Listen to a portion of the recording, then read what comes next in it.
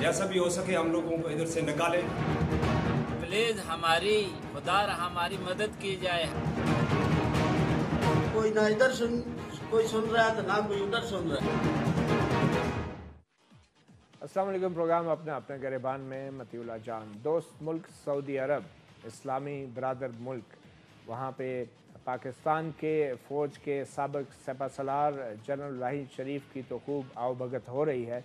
और वहाँ पे एक तारीखी इस्लामी ममालिक का 40 से ज़ायद ममालिक का जो इतिहाद है, उसकी सरबराही के लिए भी कोशिशें जारी हैं और तो है कि कुछ दिनों में शायद पाकिस्तान के सबक army chief general Raheel Sharif वहाँ पे इन तमाम इस्लामी ममालिक के इतिहाद की सरबराही और उसका अहदा भी संभाल लेंगे। पाकिस्तान को जो इज़्ज़त सऊदी अरब में मिल रही है, यकीनी तौर पर उसकी तारीफ़ जितनी भी करें, कम है। मगर जो पाकिस्तानियों के साथ सऊदी अरब में कुछ जगहों पर हो रहा है, उसका ज़िक्र भी जितना करें तो वो शायद कम है। सऊदी अरब में तकरीबन सत्तर पाकिस्तानी मेहनत कश जो हैं, उनके साथ गैर इंसानी सलूक रवा रखा जा रहा है। और वहाँ पे ना उनको खाना मिलता है, ना अद्वियात और मेहनत की उजरत भी नहीं दी जा रही। और कंपनी ने उनके पासपोर्ट भी अपने पास कब्ज़े में रखे हैं। पाकिस्तानी सफारत खाना भी बज़ाहिर सऊदी अरब में बेबस नज़र आता है। और सऊदी रेडको कंपनी है, सत्तर पाकिस्तानी डेढ़ साल से उस कंपनी ने महबूस रखे हुए हैं, उनको तकरीबन कैद किया हुआ है। और अल जबील के कैंप में ये जो पाकिस्तानी हैं, उनको तनख्वाह भी नहीं दी जा रही। ये जितने भी मुतासर पाकिस्तानी हैं, उनकी फ़हरिस्तें जो हैं, वो वक्त न्यूज़ को मौसू हुई हैं। और वहाँ की जो रेडको कंपनी है, उसने दो बरस से पाकिस्तानी मुलाजमीन को अकामा भी जारी नहीं किया और मुलाजमीन के अकामा की तजदीद भी नहीं की जा रही और कंपनी ने डेढ़ साल से तनख्वाहें और तयशुदा मुरात भी नहीं दी और महबूस पाकिस्तानी जुबेल में रॉयल कैंप टू और चौदह में महबूस हैं। बाईस मार्च को वज़ी अजम आज़ाद कश्मीर ने हुकूमत पाकिस्तान को इस इंसानी अलमिया की तरफ़ उन्होंने तवज्जो दिलाई थी। पाकिस्तानियों के साथ ये सलूक कोई पहला वाक़ नहीं है। तकरीबन एक साल पहले भी बड़ी तादाद में पाकिस्तानियों को इसी तरह सऊदी अरब की एक फैक्ट्री में महबूज, महबूस दिखाया गया था। उसकी वीडियोस भी मंजर आम पे आई थी और अब एक बार फिर हमारे पाकिस्तानी जो हैं वो मुसीबत में हैं। सितम ज़रीफ़ी ये है कि हमारे पाकिस्तानी हुक्मरान सऊदी रॉयल फैमिली के बहुत करीबी हैं, उनके बहुत अच्छे ताल्लुक हैं। हमारे जो अस्करी, जो अफसरान हैं, जो सपा सलार हैं जितने भी सबक आर्मी चीफ हैं, उनके शाही ख़ानदान से बहुत अच्छे ताल्लुक हैं।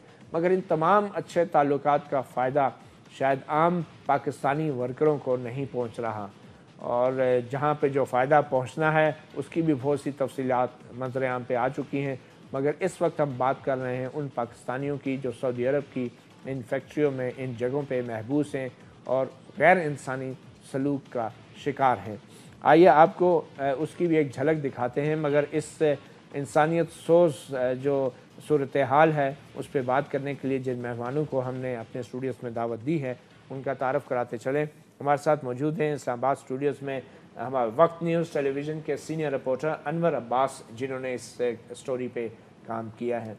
उनके साथ तशरीफ़ रखते हैं एडवोकेट अनीस जिलानी, जो कि एक समाजी कारकुन हैं।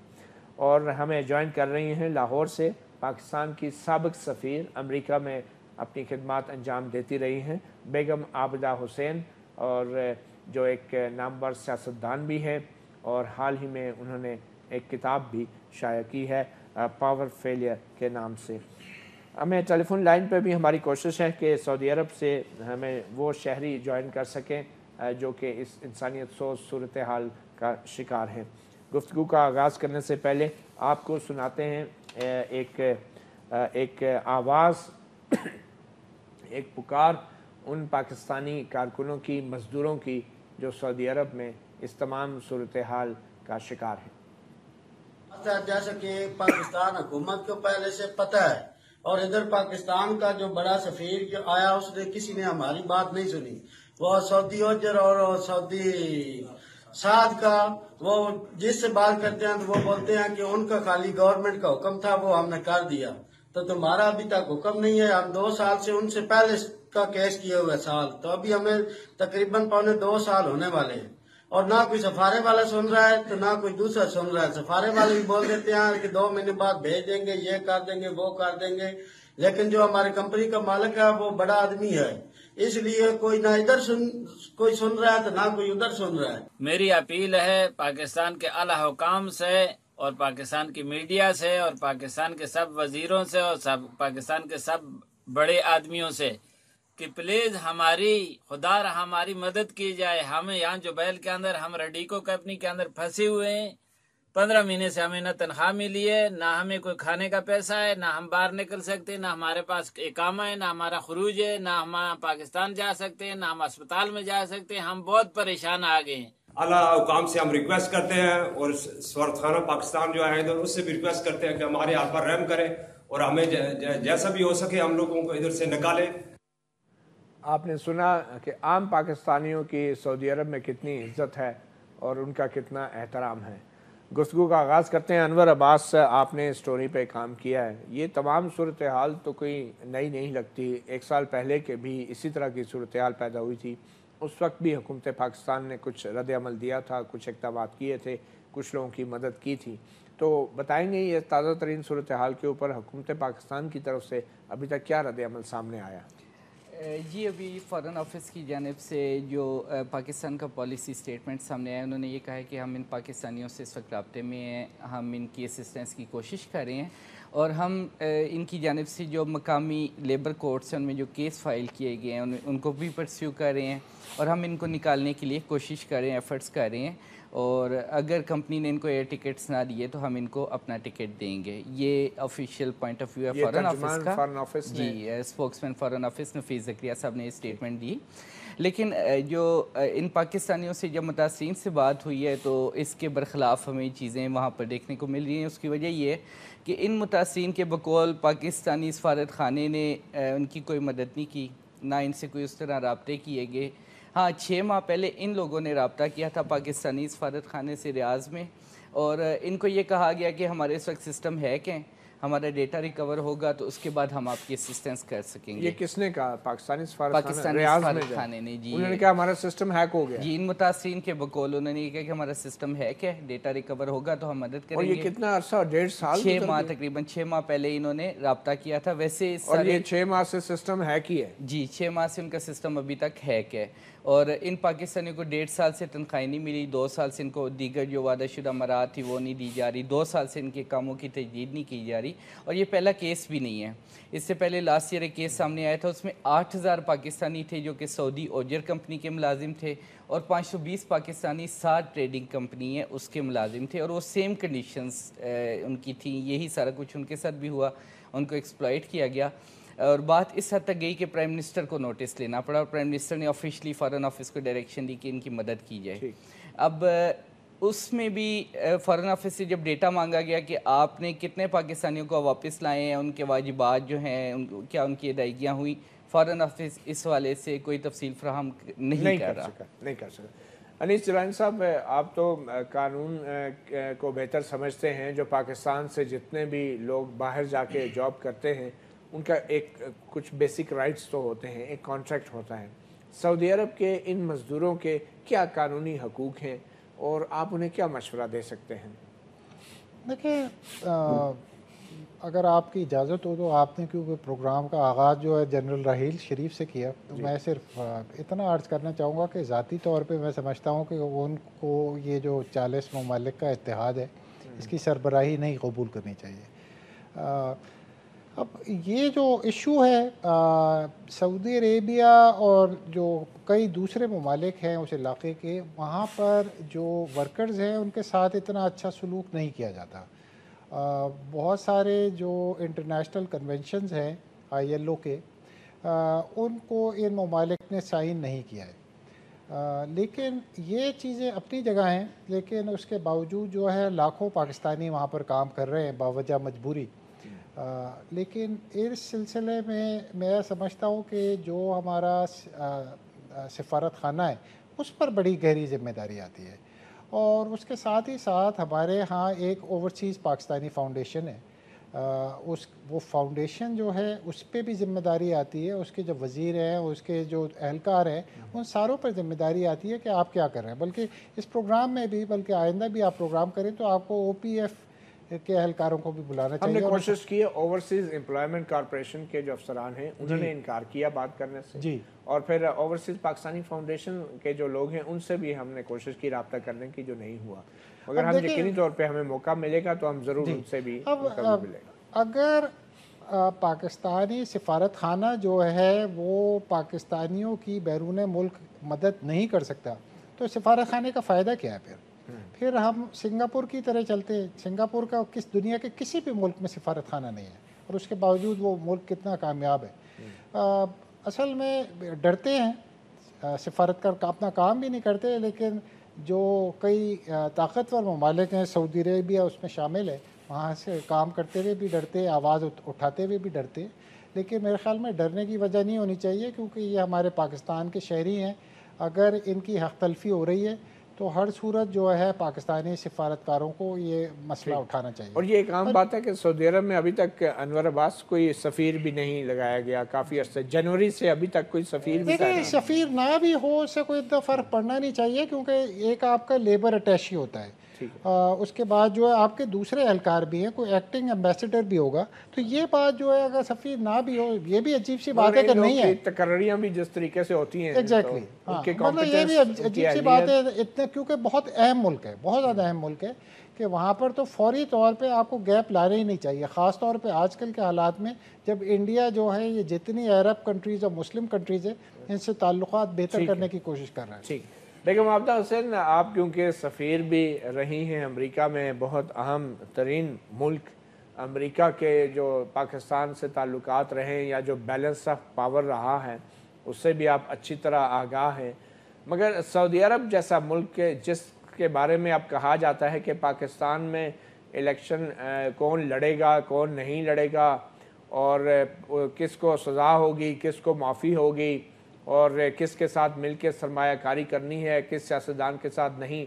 तो ऐसे हालात में क्या पाकिस्तान की कोई हकूमत जिसके हुक्मरानों के ऐसे ज़ाती ताल्लुक हों सऊदी अरब जैसे मुल्क के साथ तो क्या वो अपने पाकिस्तानी मज़दूरों के हक के लिए कोई जंग लड़ सकती हैं या आवाज़ उठा सकती हैं? आप कैसे देख रही हैं सारी सूरत को और इसमें हुक्मरान क्या कर सकते हैं और क्या कर नहीं पा रहे हैं? देखिए हम अपनी आवाज़ तो बिल्कुल उठा सकते हैं, लेकिन बदकिस्मती से सऊदी अरब का जो इंसानी हकूक़ का रिकॉर्ड है, वो बहुत मायूस कन है। वो अपने शहरीों के साथ भी अक्सर नारवा सलूक रखते हैं और उनका ईस्टर्न प्रोविंस जहाँ से तेल बरामद होता है, वहाँ पे ज़्यादातर लोग अहल तशी हैं उनसे वो बहुत जुल्म और सफाकी से पेश आते हैं। औरतों के हकूक़ भी वो बिल्कुल तस्लीम नहीं करते। तो जो हमारे मज़दूर उन्होंने अपनी गिरफ्त में लिए हुए हैं, हमें इनके लिए यकीनन भरपूर एहतजाज करना चाहिए, लेकिन हमें याद ये रखना चाहिए कि सऊदी अरब जो है उसको इंसानी हकूक़ की बुनियादी तौर पे किसी किस्म की कदर ना है। तो बेगम साहबा, ऐसी सूरत हाल में जिस तरह के ताल्लुक और हमारी जिस तरह की सियासी तारीख रही है, जनरल मुशरफ के दौर से लेके फिर जरदारी साहब का और फिर नवाज़ शरीफ साहब का दौर तो ऐसे सूरत हाल के अंदर क्या पाकिस्तान की हुकूमत जो है अपने इन मज़दूरों के लिए आवाज़ उठाने की पोजीशन में है? जी हाँ बिल्कुल है और बल्कि मैं तो ये समझती हूँ कि वज़ी अजम पाकिस्तान, जिनके ताल्लुक सऊदी अरब से बहुत मज़बूत हैं, उनको इस इशू को टेकअप करना चाहिए और उनके सऊदी अरब के जो बादशाह हैं, उनसे बात उनको करनी चाहिए कि हमारे ये बेगुनाह शहरी जो हैं, इतनी तकलीफ़ में हैं और सऊदी अरब का फ़र्ज़ बनता है कि वो इनको रिहा करें। हमें हमारे वज़ी अजम को एक वज़ीर भी भिजवाना चाहिए है जो हमारा वज़ीर मजहबी अबूर है जो कि सऊदी अरब के हकाम से बात करे और आ, हमारे लोगों की जान बख्शी करवाए। ठीक है।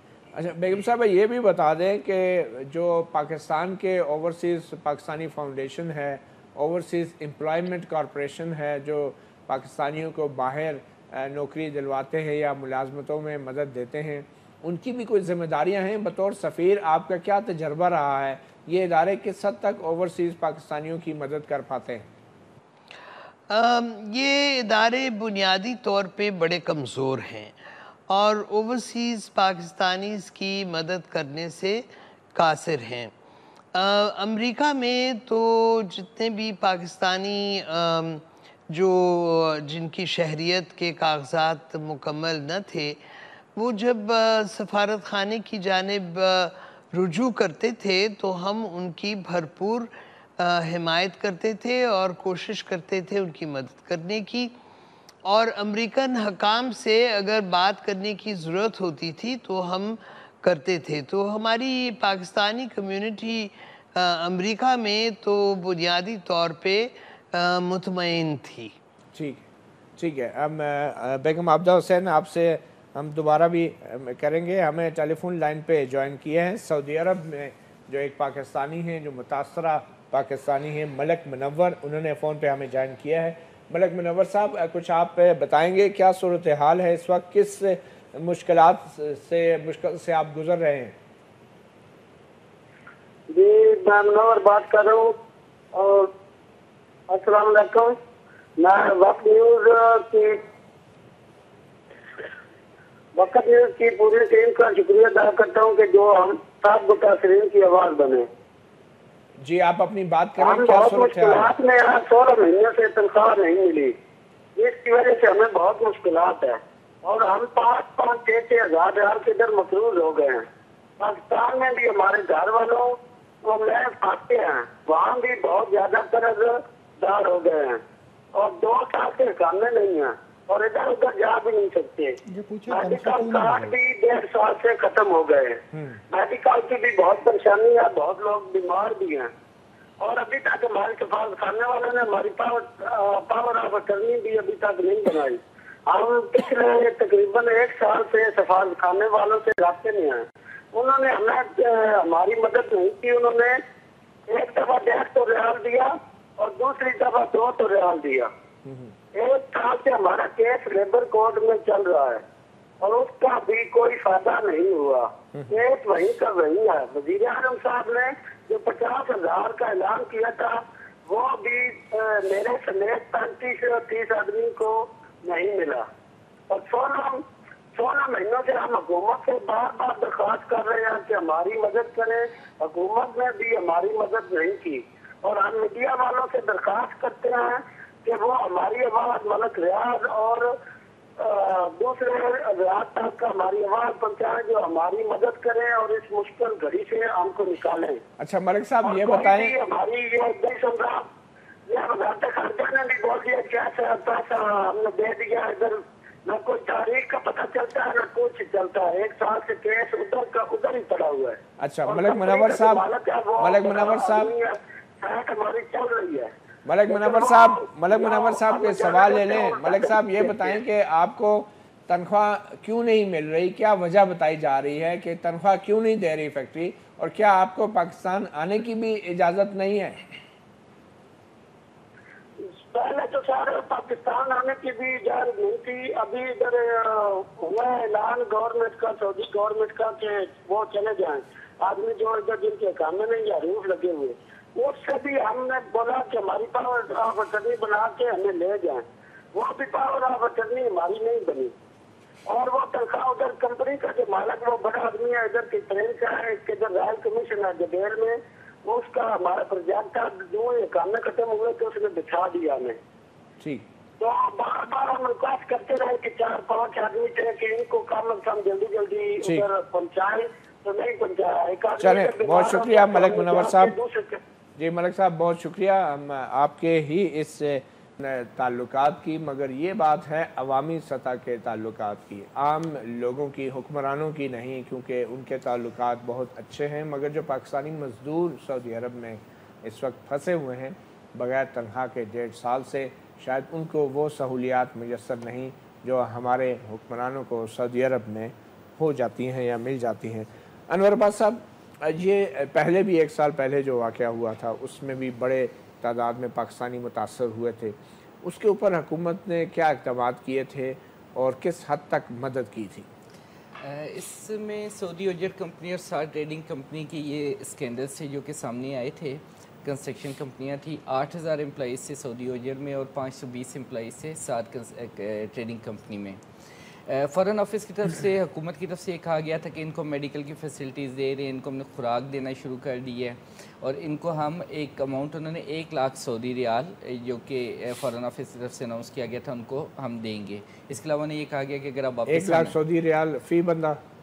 ओवरऑल एक फ़ंड कायम किया गया था उसमें एक लाख सऊदी रियाल डाल दिया गया मदद के लिए जी। तो कितने लोगों के लिए था ये? आठ हज़ार एम्प्लॉज़ वो थे और पाँच सौ बीस एम्प्लॉज़ ये अच्छा, थे साढ़े आठ हज़ार लोगों के लिए एक लाख सऊदी हाँ जी तो अभी जब रबता हुआ मुतासिन से उनसे जब हुआ जो पिछले स्कैंडल के मुतासिन थे उन्होंने ये बताया कि वो अभी तक वहीं ट्रैप हैं।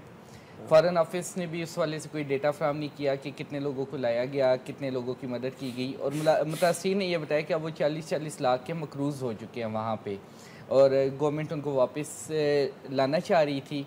लेकिन एक बंदे के अगर 40 लाख रुपए या 50 लाख रुपए सऊदी अरब में फंसे हुए हैं वो अपना केस लेबर कोर्ट में लेके गया हुआ तो वो कैसे उसको हाफ़ में छोड़ के वापस आ सकता है? जबकि पैरवी करने वाला भी उसकी गैर मौजूदगी में बकौल उनके कि पाकिस्तानी सफारत खाना भी उस तरह पैरवी नहीं कर रहा इन मामला की। इस मौजूदा केस में भी गवर्नमेंट ने अनाउंस किया कि हम पचास हज़ार पर हेड दे रहे हैं। और मुतद फ़ॉरन ऑफ़िस के मुताबिक मोस्ट ऑफ़ दैम का वर्ड इस्तेमाल किया गया कि मेजॉरिटी को दे दिए हमने। ये सेवेंटी एम्प्लॉज़ फ़ॉरन ऑफ़िस ये क्लेम करते हैं कि ये फिफ्टी सिक्स एम्प्लॉज़ हैं। ठीक है। लेकिन जब इनसे बात हुई ये बात सामने आई कि दस से पंद्रह अफराद को ये अमाउंट मिली लेकिन बकाया को ये अमाउंट नहीं मिली। अच्छा। और उनकी केस की परसुएंस के हवाले से फ़ॉरन ऑफ़िस ने कहा था कि हम रेगुलरली लेबर कोर्ट्स में परसू करें लेकिन जब इनसे बात हुई तो उन्होंने कहा कि ऐसे मामला नहीं हैं। अनवर भाई, आप दफ्तर ख़ारजा को भी कवर करते हैं। पाकिस्तान से हम देखते हैं, आए रोज़ कभी कोई विफाकी वज़ीर शाही ख़ानदान का दौरा कर रहा होता है, मेहमान बना होता है, कभी हमारे वज़ी अजम आर्मी चीफ भी जाते हैं। तो हमारे जो नुमाइंदे जो हमारे हुक्मरान सऊदी अरब के दौरे करते हैं, हज भी करते हैं, उम्र भी करते हैं, अल्लाह ताला से माफ़िया भी मांगते हैं, उनकी खुशनुदी के लिए दुआएँ भी करते हैं। तो इन पाकिस्तानियों के लिए ये बात करने नहीं जाते ये इतने दौरों के बावजूद भी पाकिस्तानियों का ये हाल है इतने साल से। तो इन दौरों के अंदर क्या बात होती होगी आपके ख्याल में? असल में एक तो वो माफ़ी इसलिए मांगते हैं कि नए गुना कर सकें। जहाँ तक मामला हैं इनके मुझे तो अब ये भी खौफ पैदा हो रहा है कि जनरल रहील शरीफ सब जा रहे हैं पता नहीं डेढ़ साल बाद उनको भी तनख्वाह मिलेगी या नहीं। अच्छा। वो भी एक मसला हो सकता है बाद में फॉरन ऑफ़िस को डील करना उनको तो मिल जाएगी उनके लिए तो बहुत है। तो अब दफ्तर खारजा की जहाँ तक है वो पाकिस्तानी दफ्तर खारजा से ज़्यादा सऊदी दफ्तर खारजा आप उनकी तनख्वाह को कह रहे हैं डेढ़ अरब डॉलर हमें पाकिस्तान को तो दे दिया था सऊदियों ने। सऊदी अरब ने डेढ़ अरब डॉलर हमें दिया था हमारे अकाउंट में डाल दिया था उन्होंने। मगर इन पाकिस्तानियों के लिए जो है हमारी हुकूमत अब किस तरह बात करे? वो कहेंगे यार तुम लोगों को इतना किया और आप इसके लिए तनख्वाहें मांग रहे हो। खैर वो डेढ़ अरब डॉलर इधर से पूरा करेंगे इनकी तनख्वाहों से जो गवर्नमेंट को वो तो खैर मुमकिन नहीं है। लेकिन ये बड़ी एक अजीब बात है किस किस्म के ताल्लुक हैं दो मुसलमान ममालिक में कि हम उनके लिए सब कुछ इसमें जो है ज़िम्मेदारी मेरे ख्याल में सिफारत खाने की बहुत है। ओवरसीज पाकिस्तानी फाउंडेशन तो क्या हमारे वजी अजम जब वहाँ जाते, जाते हैं, तो वो इसकी बात नहीं कर सकते हैं। ये हर बिल्कुल वजी अजम अगर जाते हैं उनको ये बात उठानी चाहिए। आ, लेकिन ये कि अगर आपके अंदर ये एक फीलिंग हो कि हम कबतर हैं कॉलोनी स्टेट है तो फिर मेरा ख्याल है बात करना ज़रा मुश्किल हो जाता है। आ, इसकी मैं मिसाल आपको ये दूँगा कि अगर आपको याद हो तो कुछ बरस पहले अमेरिका के अंदर एक इंडियन डिप्लोमेट खातून जो है उनकी स्ट्रिप सर्च की उनकी स्ट्रिप सर्च की गई थी कि वो घर में वीडियो भी हाँ कि वो मेड उन्होंने उसको मिनिमम वेज नहीं दे रही थी। नहीं दे रही और इंडिया की हुकूमत ने अमेरिका के साथ इतना बड़ा शोर मचाया था इस इशू के ऊपर। हालाँकि वो अमेरिका था और अमेरिका की इंडिया के लिए बहुत ज़्यादा अहमियत है। उसके बावजूद उन्होंने ये इशू बना लिया था। तो अब उसी तरीके से अभी इंडिया के जो एक जासूस को हमने फांसी की सजा दी है उस पर उन्होंने पूरी पार्लियामेंट में वहाँ शोर मचा हुआ है उनके फॉरेन मिनिस्टर स्टेटमेंट दे रही है। हम हमारा साथ कोई भी इस तरह की हरकत होती है हम हर वक्त यही कहते हैं कि हम सारे हमसाया ममालिक के साथ अच्छे ताल्लुक चाहते हैं। हमारे सबके साथ बरदराना ताल्लुक हैं। ये बरदराना ताल्लुक की एक मिसाल तो अभी अनवर साहब ने आपके सामने पेश कर दी है इस प्रोग्राम में कि किस तरह के बरदराना ताल्लुक हैं।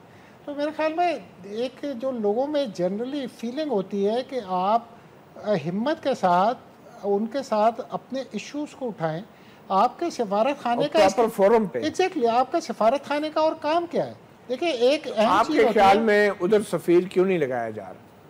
लड़ाई हो रही होगी क्योंकि ये कि देखिए जो अहम स्टेशन होते हैं ना वहाँ पे वहाँ पर तो नौकरियों तो, के लिए झगड़े होते एग्जैक्टली exactly, वहाँ तो सब लोग बड़े बड़े स्टेशन पे तो सब जाना चाह रहे होते हैं लेकिन ये भी एक बड़ा अहम स्टेशन है तो झगड़े हो रहे होंगे और इसके लिए अभी टसल चल रही होगी। इसकी बात भी हम बेगम आबदा हुसैन से पूछते हैं। बेगम साहब ये आपके ख्याल में सऊदी अरब जैसे अहम तरीन बरदर मुस्लिम मुल्क के अंदर जो हमारा सफारत खाना है तो वहाँ पे हमारा सफ़ीर ना होना जनवरी से अभी तक, ये क्या वजह हो सकती है इसकी? मैं इस बात को समझने से कासिर हूँ। असूली तौर पे तो सफ़ीर जहाँ जहाँ हमारे सफारत खाने हैं, वहाँ तयन होने चाहिए और इनमें, इसमें ताख़ीर नहीं होनी चाहिए।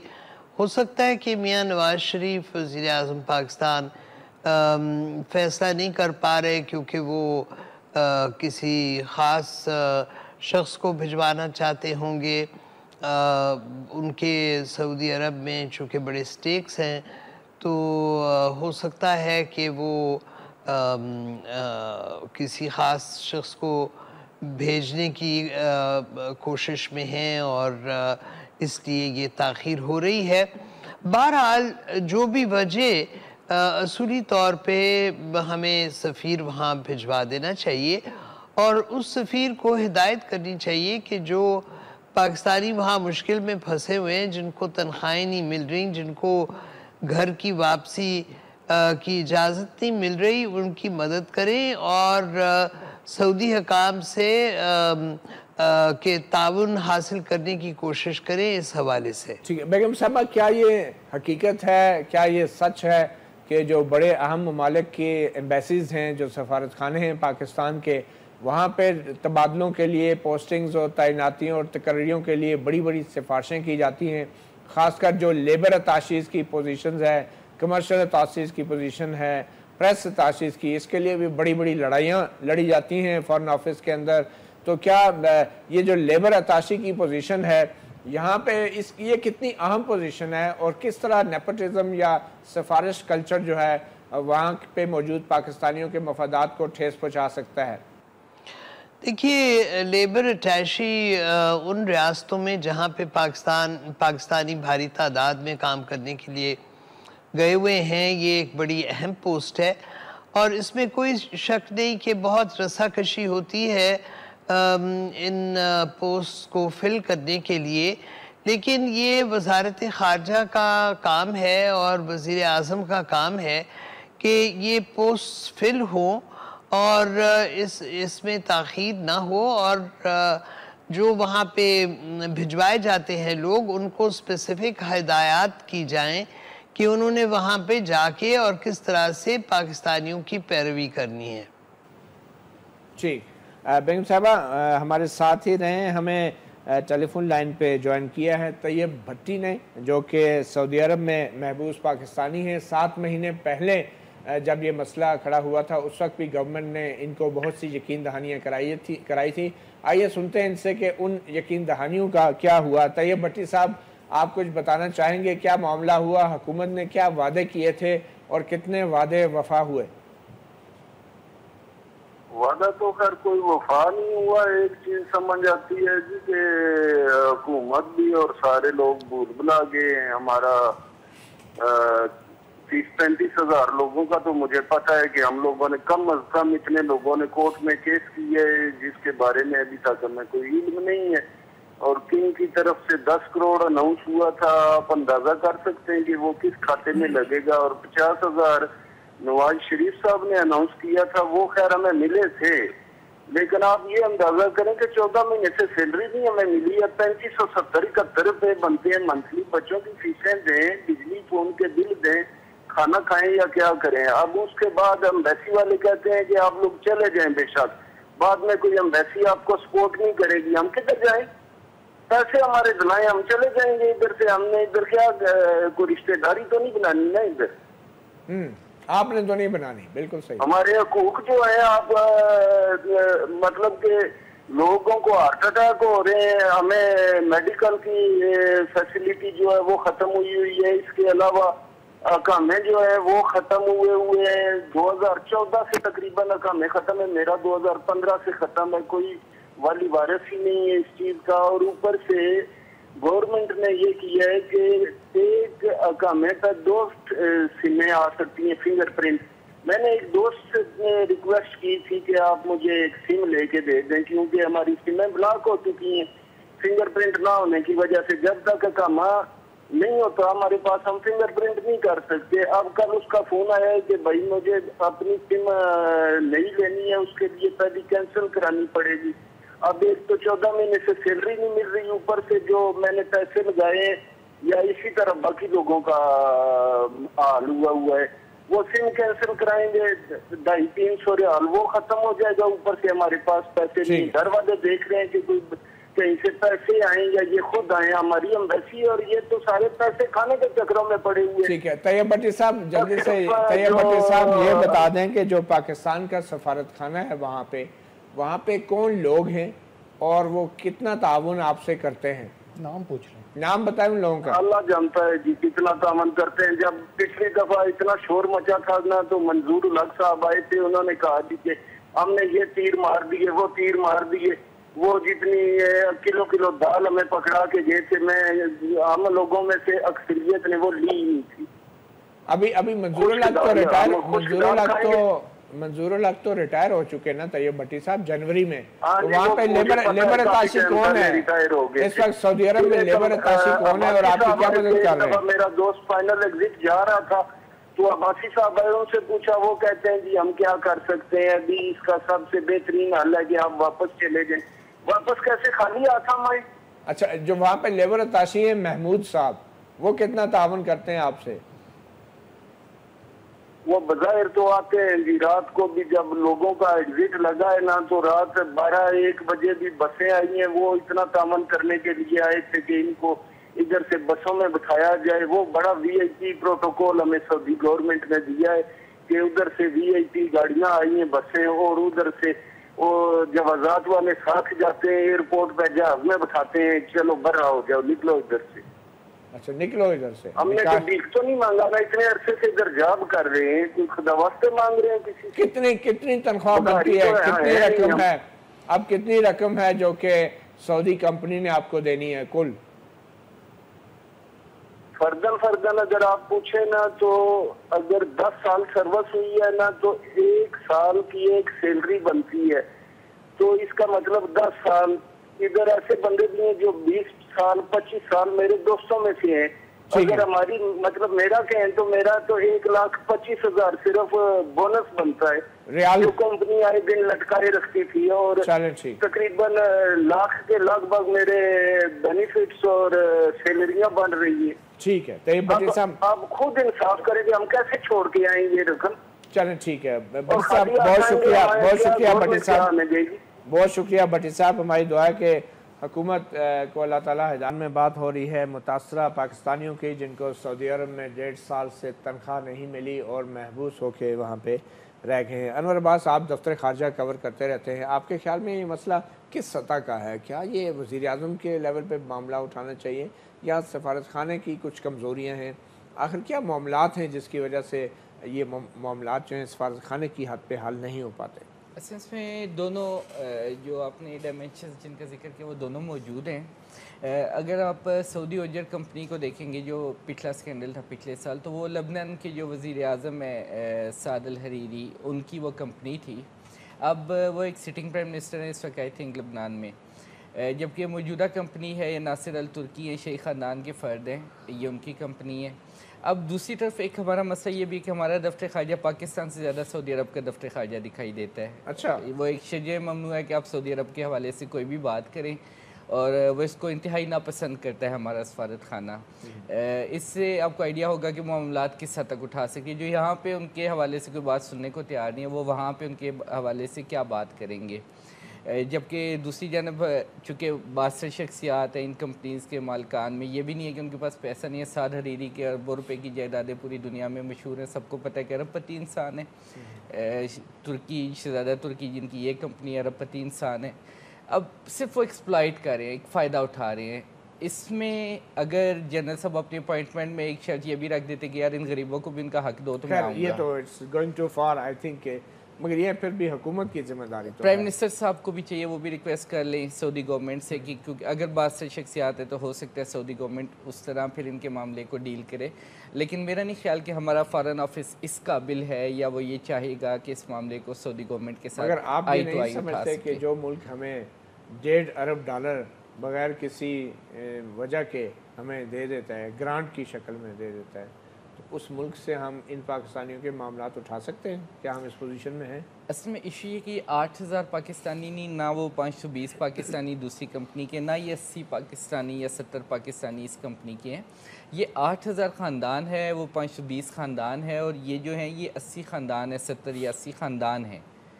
ये बहुत ये सिर्फ़ ये लोग इफ़ेक्टेड नहीं है कि जो लोग वहाँ बैठे हुए हैं बल्कि इनके पूरे पूरे ख़ानदान एक, एक एक पूरे न ट्रामा से गुजर रहे हैं। तो हमारी गवर्नमेंट या हमारी जो कंसर्न अथॉरिटीज़ हैं वो ये बात समझने से कासिर हैं कि मसला सिर्फ़ एक इंसान का नहीं एक इंसान के पीछे उसकी पूरी फैमिली का है। ये एक्सप्लाइटेशन तो है ही है लेकिन उसके अगर आप उसमें मज़ीद आप तय में जाएँ तो एक पूरे ख़ानदान का इस्तेसाल है। तो इसको एज एन ह्यूमनिटेरियन इशू भी वो गवर्नमेंट से रेज कर सकते हैं सऊदी गवर्नमेंट से। साहब पाकिस्तान से जब लोग जा रहे होते हैं नौकरी करने के लिए, उस वक्त तो बड़े खुश होते हैं। तो किन बातों का ख्याल रखना चाहिए कि कहीं ऐसी फैक्ट्री में जाके ना वो फंस जाएँ? यहाँ से जाने से पहले पाकिस्तानियों को कौन सी मालूम हासिल करनी चाहिए नौकरी के लिए? और फिर किस किस्म का कॉन्ट्रैक्ट जो है, उनको उसके, उस पर तवज्जो देनी चाहिए? बहुत मुश्किल सवाल है। लेकिन जो एजेंट्स होते हैं, जो भेज रहे होते हैं वो सारे एजेंट्स जो हैं वो हुकूमती अदारों के साथ जो है रजिस्टर होते हैं। तो एक तो ये कि रजिस्टर्ड जो एजेंट्स हैं वो सिर्फ़ उन्हीं के साथ आपको काम करना चाहिए। सेकेंडली जब एजेंट्स की भी ज़िम्मेदारी आती है जो बिल्कुल आती है बिल्कुल आती है। एजेंट्स की तो भी आती है। खिलाफ कोई कार्रवाई कर सकती है? हुकूमत जिन एजेंट्स ने इनको भेजा इस फैक्ट्री में। एफआईए कर सकती है और कार्रवाई कर सकती है। लेकिन उसके अलावा जो है ये जो वर्कर्स जाते हैं ये फ्री नहीं जाते।